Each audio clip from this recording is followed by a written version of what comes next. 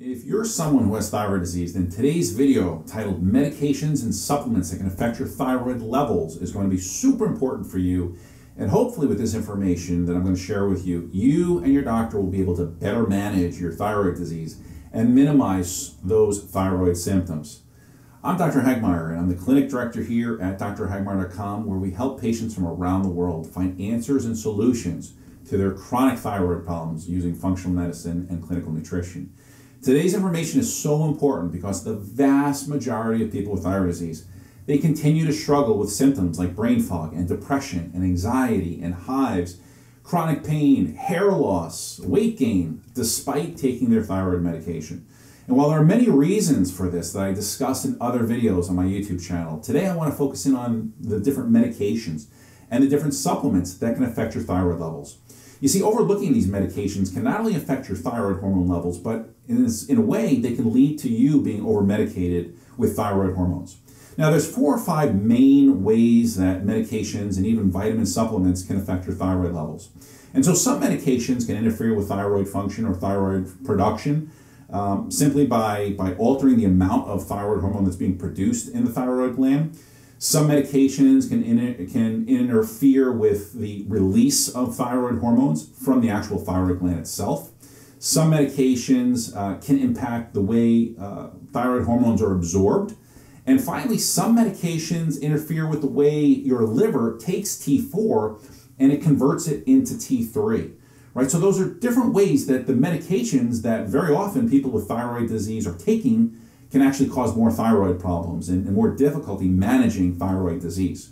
So let's jump into this. Number one on my list of, of medications that can affect thyroid levels are going to be your antacid medications. And the reason for this, or I should say, you know, when it comes to antacids, is that many times digestive problems such as GERD and acid reflux and bloating, and, you know, again, with thyroid disease, they often go hand in hand. We often see patients that have thyroid problems often suffer with these symptoms. In fact, most patients who have thyroid problems for literally any length of time eventually at some point will go on to develop acid reflux, will go on to develop small intestinal bacterial overgrowth, which classic symptoms include bloating, um, constipation, diarrhea, and so forth. And so again, getting control of these symptoms becomes very, very important. Now, as a result of these symptoms, patients, you know, out of desperation, they begin taking antacids, they begin taking proton pump inhibitors, they take things like Prilosec, they take Zantac, they take Nexium. And what many people fail to realize is that these drugs not only impact the absorption of your thyroid hormone medication, but they also impact the absorption of many critical vitamins and nutrients that you need to have healthy thyroid function. So, in a sense, you get this vicious cycle going on, and you, the patient, gets caught in the middle you go on developing more symptoms of which your doctor prescribes more medications, right? So what I find in the vast majority of my thyroid patients is that their symptoms of acid reflux and GERD are not caused by an excess of acid, uh, which you're been told probably and what you've been led to believe, but rather uh, this is caused by a deficiency of stomach acid or a problem with the pH of the gut. You see, low stomach acid is really one of the most common causes, it's one of the most common reasons behind small intestinal bacterial overgrowth. And with that small intestinal bacterial overgrowth, very often we get that acid reflux, we get that belching, we get that bloating.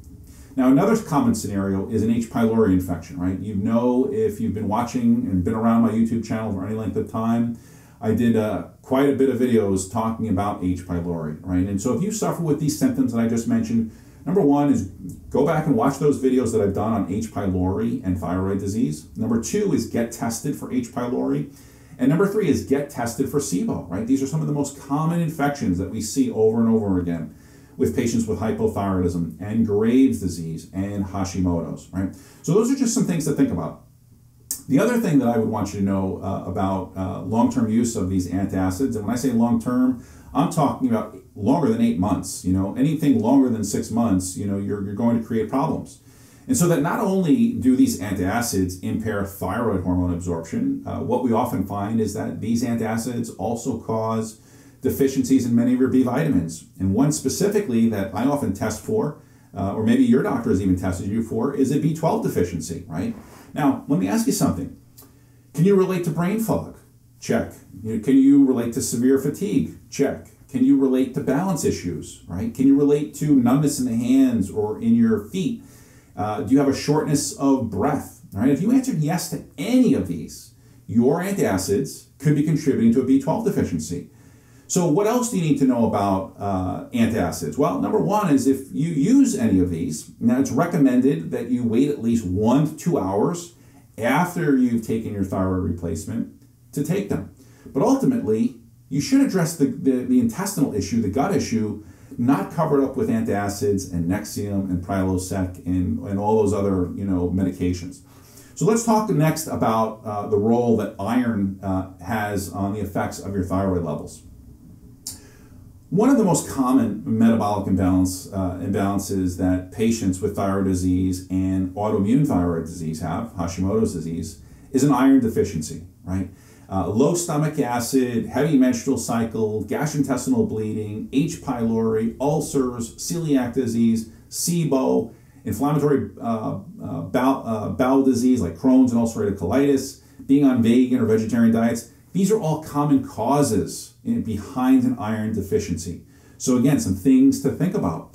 Um, if we take a look at the symptoms of iron anemia, again, these are very, very similar to those that I just mentioned with a B12 deficiency. Symptoms of iron anemia are also very, um, very uh, similar to hypothyroidism, right? So here's the problem though with anemia and thyroid disease, right? Once you are anemic, not only do you not have enough red blood cells in your body, but now the size of your red blood cells becomes smaller. Red blood cells carry oxygen to all the different tissues of your body.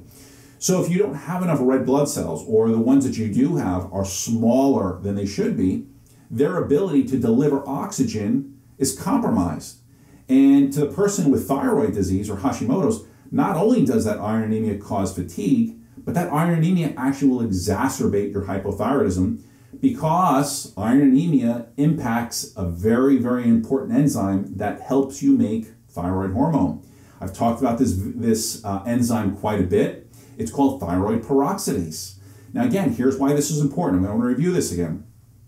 Thyroid peroxidase is one of the primary enzymes that is needed to make thyroid hormones. This enzyme uses both iodine and it uses iron in order to make your T3 and T4 thyroid hormones. In fact, studies show that when a person is iron anemic, that anywhere between 30 to 50% of a decrease in thyroid peroxidase activity can occur when you have that iron deficiency. Again, you don't want to be iron anemic, right? Um, so again, if you correct this uh, iron deficiency anemia, your thyroid hormone production is going to improve. You're going to need less thyroid medication, again, because your thyroid peroxidase activity is improved. It's more efficient. So again, uh, just a reminder uh, to be sure to get your thyroid levels monitored more frequently if you have an iron deficiency.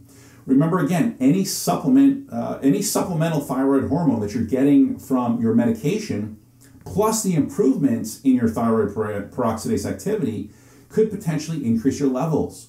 So again, monitor those levels throughout that time period and make sure that your levels uh, stay balanced. The next thing I want to talk to you about is something called biotin, right? Oh, why biotin, right? High levels of biotin, also known as vitamin B7 or vitamin BH, is super important. And here's why. One of the most common, common symptoms that women struggle with and can be quite debilitating emotionally is losing hair, right? Um, but in addition to losing hair, uh, biotin deficiency can cause nails to become weak and they can cause your um, nails to become brittle. Um, your skin it becomes dry, it cracks, it loses its youthfulness. And so, what are many? What do many women do? Right? They and I completely understand this, is they go to the internet and they, they search and they ask Dr. Google, what, oh my gosh, what are the natural supplements that I can take to help my hair loss and to help, you know, grow healthy skin, healthy nails? And what pops up? Biotin. Otherwise known again as vitamin B7. So again, you want to check your, perhaps your B complex, your B vitamin that you might be taking to see if it has biotin in it. And again, biotin is one of those vitamins that uh, helps with hair, it helps with skin, it helps with nails. Uh, and in fact, it does such a great job with these things. But the problem is, is that what if your biotin levels are, are low? Uh, I'm sorry, what if your biotin levels are, are not low? What if they're normal? and you start taking biotin. And higher doses of biotin are problematic for a couple reasons, um, especially if you have high levels of biotin for prolonged periods of time. Biotin can actually uh, make your blood work look like you have hyperthyroidism or Graves' disease. Uh, so again, um, this is something important because this can, of course, skew your thyroid levels. This is going to lead to again um, you being um, your medication being mismanaged. So again, think about think about it like this: you go into your doctor's, uh, you know, you go in for your doctor's appointment. Uh, you don't you've been taking biotin. Your doctor doesn't know you've been taking biotin, and so they run some blood work on you, and your thyroid levels come back skewed. Right? That's going to be a problem in terms of, of managing those levels. So not only does biotin interfere with thyroid markers, biotin can skew your cortisol levels it can skew your parathyroid hormone levels, which affect your calcium levels. It can, it can skew your ferritin levels, but that's not all. Biotin can affect your vitamin D levels, your B12, your folate. So again, what I always recommend is, is that patients um, be aware of what you're taking, right, as far as you, the supplements that you're taking. Uh, even check your, your multivitamins, right? And again, if you're taking anything that contains biotin, again, B7, you want to stop that anywhere between three, four, or five days uh, prior to having tests done. Now, there's another common medication women use, um, younger generation in, in, one respect, and then uh, in another respect, um, the medication and a replacement, a hormone replacement that a lot of women use during menopause. Right? We're talking about birth control pills, we're talking about HRT, and we're talking about these high doses of synthetic estrogens. Now, if you are taking thyroid medication uh, and you're also on the pill, I want you to know that these hormones, uh, these hormone replacements, these estrogens, can really affect your thyroid in a bad way. Estrogen that comes from the pill uh, can increase something called thyroid binding globulin. All right, now thyroid binding globulin is one of the markers that I run in a complete thyroid panel, and here's why this marker is so important to understand. First off, when thyroid binding globulin levels increase, right, when they go up, right, because of estrogen, you don't have as much thyroid hormone floating around your blood. So you experience many hypothyroid symptoms. If you're a woman who is taking the pill, did you notice that when you began taking the pill that you gained weight? Did you notice more hypothyroid symptoms? In other words, did your hypothyroid symptoms intensify? Did you have more fatigue? Did you have more depression? Did you have more anxiety? Did you have more brain fog? Did you have more stomach bloating? Right? These are all very, very common symptoms that women experience when they first start taking the pill, uh, or if they've been on a pill for any longer than, than 12 months. If you're taking birth control pills and uh, you're using estrogen replacement therapy because you're menopausal or you maybe you've had a hysterectomy and you're concerned about the effects that estrogen has on your thyroid, you may want to watch a video that I did titled "The Pill and Thyroid Disease." Right? Um, again, you want to make sure that your levels are, are staying where they should be. Right. So another medication I want to talk to you about that's on my list here is your dopamine agonists. Right. Um, again, these are very very common uh, for men and women with thyroid disease to be on. And again, uh, they're often on these because dopamine agonists are drugs that are designed to increase the level of dopamine in the brain. Uh, these drugs can uh, be often be prescribed because of clinical depression, which a lot of people with uh, thyroid disease suffer with. They can be prescribed to uh, young adults, uh, adults with ADHD, or even kids with ADHD. They can be prescribed to people that have Parkinson's disease. They can be prescribed to even people with restless leg syndrome or RLS. Sometimes women with high prolactin levels, uh, like uh, that seen with women who have either a tumor uh, in their brain, uh, such as a prolactinoma, or women who have PCOS. All right, um, they can often all these scenarios are are situations where um, if you have thyroid disease, that these medications can can intensify, and these medications can make your thyroid levels look even worse. Again, Dopamine agonists are often used to treat high prolactin levels, and that's again because dopamine levels lower your prolactin. Uh, but these drugs also lower your TSH levels. So if you have TSH levels that come back, keep that in mind. Dopamine can suppress your TSH. Another way of saying that is high dopamine can make you more hypothyroid. Uh, and this can take already an existing symptoms of hypothyroidism, such as fatigue and weight gain and depression, brain fog, daytime sleepiness, hair loss, and anxiety, and make you again more hypothyroid, right? So high dopamine lowers your TSH. So you feel worse when you take these drugs or that are purposefully, you know, designed to increase your dopamine levels. Another drug uh, that you'll find in almost every American's uh, house in their medicine cabinets are NSAIDs. Right? These are non-steroidal anti-inflammatory drugs. Right? Many people who have Hashimoto's disease and thyroid uh, thyroid disease, they also suffer with some kind of chronic pain. Maybe they have rheumatoid arthritis. Maybe they have psoriatic arthritis. Maybe they have fibromyalgia. Uh, maybe they use NSAIDs because they have frequent menstrual cramps or chronic headaches. Uh, and rather than addressing the root cause of the chronic pain and the headaches and the menstrual cramps, they turn to using these NSAIDs. Right? Do you find yourself using aspirin, ibuprofen, Aleve, Advil, naproxen, Motrin? Are you using these on a daily, weekly, or monthly basis? Right? If you do, you're hurting your thyroid. Not only are these pain relievers hurting your thyroid, these pills cause leaky gut, they cause intestinal inflammation, they cause ulcers, they cause bleeding, they cause heartburn, they cause gas, they cause bloating, and the list goes on and on and on.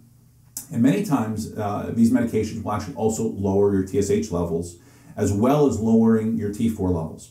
Now, I want you take a look at this, right? Uh, you can see here that with the conclusion of this study that was published in the American Journal of Medicine, several NSAIDs can lower serum thyroid concentrations by affecting the binding of T4 and T3 to serum, to serum carrier proteins. This is what I was just talking about earlier when I, I was talking about thyroid binding globulins, right? So the NSAIDs, the medication that you're taking for chronic pain, is another potential reason for altering the way thyroid hormones are distributed throughout your body, right? Again, that thyroid binding globulin, that's a carrier protein.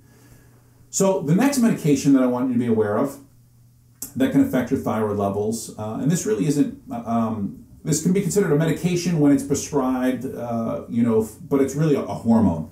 Uh, most, if, if not all, women with thyroid disease or Hashimoto's suffer with some kind of sex hormone imbalance, right? They have, uh, very often, they either have too much or they have too little testosterone. These might be women who have polycystic ovarian syndrome. These might be women who are insulin resistant. Uh, these could be women uh, that are in menopause or perimenopause. Again, these are all conditions that are super common in women with low thyroid, uh, low thyroid um, or, or Hashimoto's disease. If your testosterone levels are high, let's say because of PCOS or because of insulin resistance, or perhaps because you're taking too much testosterone replacement, you will have problems with, again, that carrier protein, that thyroid binding globulin. Earlier in the video, I spoke about how oral contraceptives and patches and HRT, the birth control pill, I said those all increase thyroid binding globulin. Testosterone does just the opposite, right? Testosterone actually lowers the thyroid binding globulin levels in your body. In many respects, it could potentially cause an elevation in your free T3 and free T4 levels. And this may make you feel um, have perhaps a little bit jittery, maybe a little bit more irritable, maybe trembling, uh, in, inward trembling. Maybe you're having hair loss, maybe you're having heart palpitations. Maybe you just feel agitated, right? Or just again, irritability. Um, again, all signs of, of uh, hyperthyroidism or just a little bit too much thyroid hormones in your body. The problem with this is, especially for women that have too much testosterone, is that that excess testosterone and the effects that it has on your thyroid binding globulin leads to something called thyroid resistance. And uh, you'd actually have the symptoms of hypothyroidism despite having normal or even high normal levels of that free T3 and free T4. So it can show up in a number of different ways. But again, this is something that I want you to be aware of. So again, if you're taking thyroid replacement alongside testosterone replacement, be sure to have your thyroid binding globulin levels tested as well as your thyroid levels monitored more closely than usual. Now, a lot of doctors only test their patients' thyroid levels maybe once a year, maybe twice a year. So if you start taking any of these medications that I've talked about throughout this video, you want to have your thyroid hormone levels checked more frequently, right? That just makes sense. And remember, thyroid binding globulin is not a routine thyroid marker. Uh, it's only part of a complete thyroid panel. So again, if you're not having a complete thyroid panel, again, you can visit my website and learn more about the different markers that make up uh, what we call and what we refer to as a, as a full thyroid panel. Now, before we move on to the next medication, remember Hashimoto's uh, puts you at an increased risk, and, and here's why. Uh, when a person has Hashimoto's, you're already at risk for fluctuating thyroid levels due to the immune system's attack on the thyroid gland. But now, if you throw in things like antacid medications because of acid reflux and heartburn, and you have too much testosterone, uh, let's say because you had a testosterone deficiency at one point in time, or maybe you have PCOS, throw in some iron deficiency, throw in some estrogen replacement, throw a birth control pill into this mix, and uh, throw in a weekly use of pain pill or monthly use of pain pills because of, let's say, uh, menstrual cramps or headaches or migraines throw in some antidepressant medications. And what you have is you quickly see how all these medications begin adding up and throwing just a, a, big, you know, big mess into this whole situation of trying to manage and, and, and monitor your, your thyroid levels, right? Your doctor basically have, will have no idea what's wrong with you, and, and all they can do is continue to essentially prescribe you more medications. And that's not going to be the solution to your problem. This is a danger to you, and this, of course, puts you at increased risk for other health problems down the road. You always want to address the root cause of these problems from the very, very beginning because when you don't, it has this snowball effect. And I've seen this happen and I've seen this play out in many, many of my patients. You know, this snowball very quickly gets out of control. And again, that's why it's so important to look at the big picture and not just chase thyroid symptoms with uh, without digging into that root cause, right? All right, so with that being said, the, the next one I want to bring your attention uh, is, is really not a medication uh, or a vitamin, it's actually a mineral, right? And I'm talking about iodine here. And yes, iodine uh, can have many negative consequences on your thyroid gland. While many people talk about iodine deficiency causing hypothyroidism and, and, and high TSH levels, I want you to be aware that excess iodine is equally problematic. And we're starting to see this more and more and more often with patients who are treating themselves and just haphazardly taking iodine because they know they have a thyroid problem. And, you know, again, Dr. Google will say, well, you know, your, your thyroid needs iodine. So people rush out and they start talking to, you know, the clerks at the grocery stores and Whole Foods and these other places, and they start taking supplements with iodine in it. And so while it's true that iodine is needed to make thyroid hormones, very often iodine excess is the, is the side effect, is the result of uh, very often supplementing with iodine. And in the cases of patients that have uh, Hashimoto's, this can be extremely damaging uh, and sometimes irreversible. Again, in hypothyroidism, we have this elevated TSH, we have low T4, we have low T3 levels, uh, and I see a lot of people, again, just damaging their thyroid because of just too much iodine supplementation. Right? Uh, maybe you read, you read on the internet about iodine loading, so that's something I want to throw out there. Uh, iodine loading or the iodine patch test, or you read some articles on the internet that, that basically talk about, uh, you know, how important iodine is to the thyroid. Um, again, just one thing I really just want to stress some concern about is that, um, you know, iodine can be can be good, but it can be bad in, in a lot of cases, right? So I hope after today's video you'll exercise some more caution when it comes to using iodine. Um, so where might you find iodine, right? Where might you be getting exposed to just too much? Well, iodine can from a number of sources, right? You can get iodine from CT scans and MRIs and other contrast diagnostic imaging. It can come from your thyroid supplements, like I mentioned just a moment ago. Um, sometimes supplements are, are labeled as thyroid boosters. It can come from kelp. Uh, and of course, it can come from your table salt, your iodized salt that's, uh, that you're basically using to salt your steak, to salt your vegetables, uh, put in your soups, or whatever it is that you use from a cooking perspective. Now, again, like I mentioned just a moment ago, uh, again, worth repeating here is that, um, again, excess iodine has been shown to cause Hashimoto's thyroiditis. And this is when the thyroid gland becomes inflamed. Maybe you're watching this video and you have been having some inflammation in your thyroid. It's time to be more aware of that the potential cause for that, uh, of that inflammation in your thyroid gland is caused by that iodine that set into uh, motion that Hashimoto's disease. In fact, Hashimoto's disease is the number one cause of hypothyroidism. Iodine deficiency is not the number one cause of hypothyroidism. All right, so just keep that in mind. Um, here you can see a few studies that show how iodine, uh, you know, even iodine contrast like that that is used in diagnostic imaging can cause inflammation and swelling of the thyroid gland. Um, here's another study showing why you must exercise caution uh, in popping thyroid supplements that contain iodine uh, when you have hypothyroidism. And when it comes to testing iodine levels, uh, overall iodine levels really can't be reliably measured in blood. Um, really, the the most, uh, and that again is just due to the to the the day to day variation of iodine intake. Instead, if you're going to test your iodine levels, very often what I do is I will use a urinary iodine uh, test. All right, and so again, the moral of the story of this iodine story is that I would advise anyone with thyroid problems or even thyroid symptoms, okay, to exercise caution and really think twice about taking supplements uh, that contain iodine or following someone's recommendations of iodine loading. I can't begin to even tell you over the years how many people have uh, done an iodine loading phase, and it was just a bad, bad, bad situation. Again, irreversible damage being caused by that. So the next group of, of medications uh, that affect thyroid function uh, and frequently used to reduce allergy symptoms and reduce inflammation in cases like rheumatoid arthritis, lupus, fibromyalgia, Crohn's disease, ulcerative colitis, asthma, uh, very often used in the treatment of allergies and hives. And these are your glucocorticoids. These are your steroids. Um, these are things like cortisone and prednisone and hydrocortisone. But unlike the non-steroidal anti-inflammatories that we just spoke about, um, these again are steroids, right? These are going to affect your immune system. Multiple studies have shown that steroids suppress your TSH levels, these, glucocorticoids, uh, these glucocorticoids. So again, if you're on prednisone, just keep in mind that prednisone can suppress your TSH levels.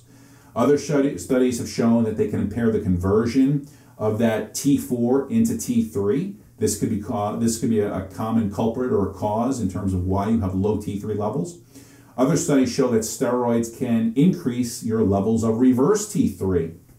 Now, again, reverse T3 is not, again, one of those traditional markers, RAN. Uh, it is uh, um, a thyroid marker that's found in a complete thyroid panel.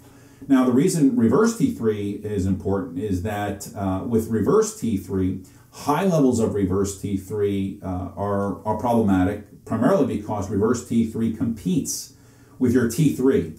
Uh, essentially, what reverse T3 does is it blocks your T3 thyroid hormone from getting into the cell. Uh, and so, what I want you to consider here is that while steroids are used to treat the inflammation associated with Hashimoto's thyroiditis and many other different kinds of autoimmune uh, diseases, they can reduce T4 to T3 conversion. And in doing so, this can exacerbate your hypothyroid state. So, again, you could gain weight, you could have more brain fog, more fatigue, hair loss, and all those other things that we've just mentioned. Now, the last thing I want to mention to you today uh, when it comes to medications and vitamins that affect thyroid levels is the effect that very often um, the binders and the fillers that are actually found in thyroid medication uh, and many other medications uh, that you might be taking have on your thyroid, right? This can be something that's very easily overlooked. But throughout this video, we've seen time and time again how medications and even vitamins can cause or create the very problem that we're trying to fix. And so the binders and the fillers that we often see in thyroid medication, and many other medications for that matter, could be a contributing factor to your thyroid disease. Now, many people with thyroid disease also find themselves suffering with an increased amount of chemical sensitivities as well as food sensitivities and food allergies. So, if you can relate to this, you may also be reacting to your daily dose of thyroid medication, right? For some people, within just a few days of taking thyroid replacement, they feel worse. Uh, maybe they break out in hives. Maybe they become increasingly fatigued, or they experience more depression, or more headaches, or more pain, or more maybe their heart begins to race.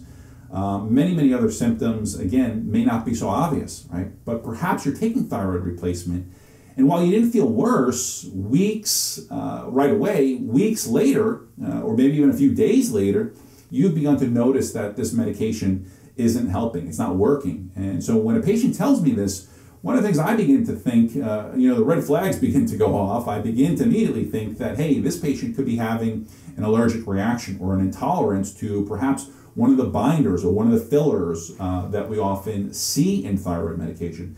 And there's a video that I've done on this particular topic where I basically break down the different kinds of medications um, what they have, whether it be corn or um, you know gluten or um, dairy, because again these are, are again are, are, problematic. So if this scenario is is uh, familiar to you, contact my office and we can help you get tested for either food allergies, food sensitivities, or, or sometimes even both. Um, again, the most common allergies and sensitivities in people with thyroid disease and Hashimoto's are going to be things like dairy and corn and gluten. So again, while there are many, many other foods that you could be sensitive to, these are the ones that become especially important because these are the ones that are found in most medications, they're found in most thyroid formulations.